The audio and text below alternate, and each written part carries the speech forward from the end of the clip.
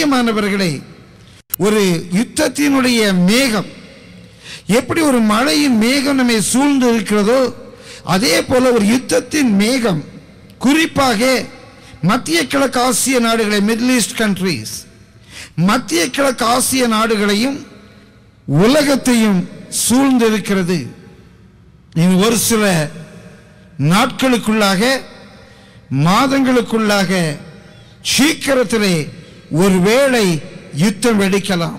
அன்றைக்கு இருந்த ரோம சாம்ராஜ்யத்தில் இருந்த நாடுகள் இன்றைக்கு பல நாடுகளாக சேர்ந்து கிட்டத்தட்ட அந்த கூட்டமைப்பில் இப்போது இருபத்தி ஐந்து நாடுகள் இருக்கின்றன. இன்னும் அநேக நாடுகள் அந்த கூட்டமைப்பிலே சேர முடியும்.